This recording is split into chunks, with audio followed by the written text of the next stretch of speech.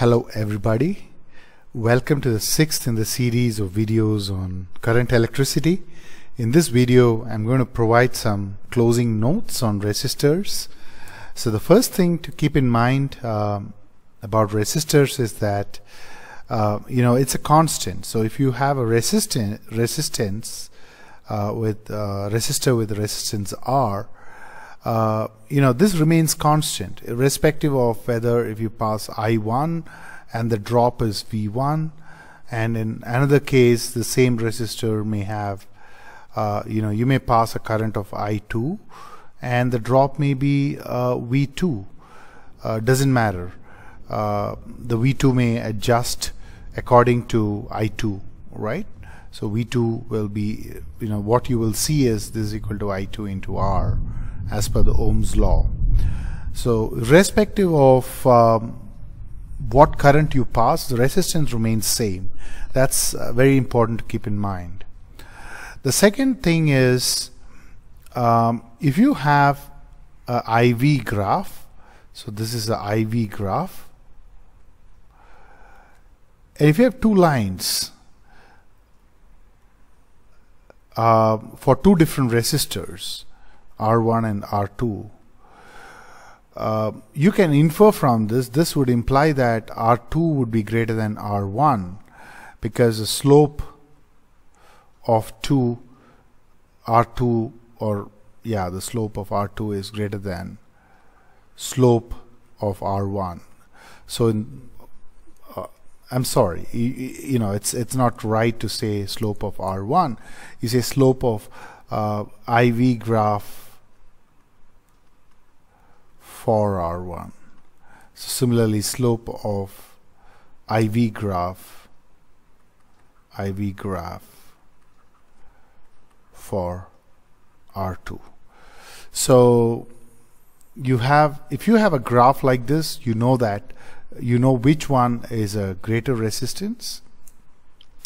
The third thing is we discussed in the previous video that for ohmic conductors as your resistivity increases as temperature increases. But for non-ohmic, we didn't talk about it, is that you need to remember that typically your resistivity would decrease as your temperature increase. Now, for example, in a semiconductor uh, or diodes, um, you have the number of free electrons increase as temperature increase.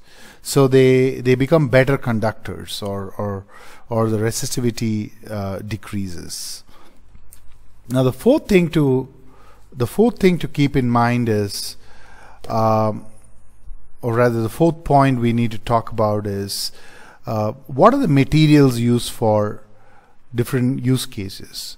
So materials used for different cases. So first let's look at standard wires. Now standard wires when I say as the standard wires we use in lab uh, we typically use magnanin ma sorry manganin and constantan. These are alloys and the reason why we use these is because uh, its resistivity is quite high, so you can use it to make a large resistance, and this has less effect of temperature. So as temperature as temperature increases or decreases, the resistivity remains a constant, right? So resistivity remains constant. That's what we need in lab. We we need to we need to uh, make our experimentation error less by making sure resistance don't change due to temperature. Now the second is a fuse wire. Now the way the fuse wire works is, you know, you you put a fuse wire in between, uh, let's say before a bulb or uh, something like that.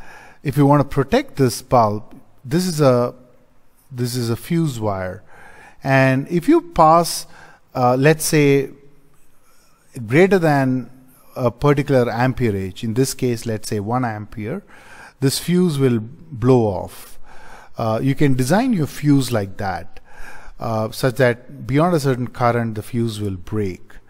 So usually for this reason you use uh, you use alloy of lead or tin and the reason why you use that is because it has a low melting point. Um, so you want something with low melting point that will burn uh, when excess current is passed. Now the third use case is a filament you in bulb. You usually use metal like tungsten and the reason being uh, it has a very high melting point. And finally, you know, let's say a heating coil.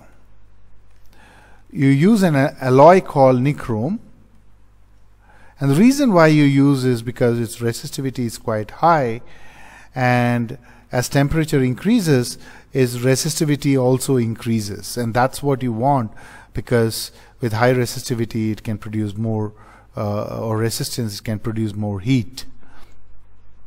So I hope um, you you um, you like this video.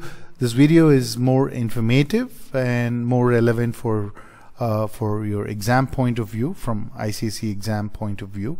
Now these are key things to remember. Um, see you on the next video. Bye